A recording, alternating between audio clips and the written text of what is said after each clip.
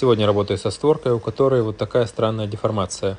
Почему-то выгнула пластик вместе со штапиком. Ну и, соответственно, из-под него дует.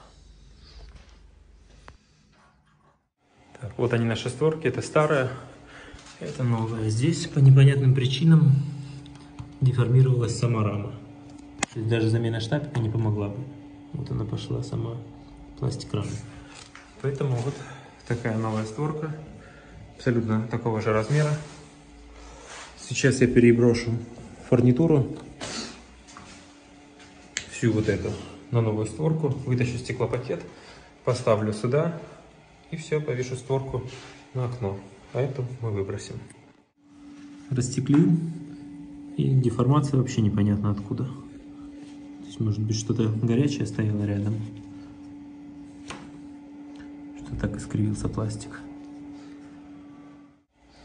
Все заменил. В новой створке стоит теперь стеклопакет, фурнитура. И вот она наша старая створка с вот этим изгибом.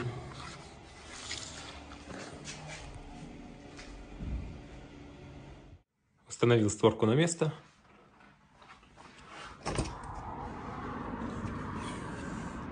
Также поменял уплотнитель на шлегель.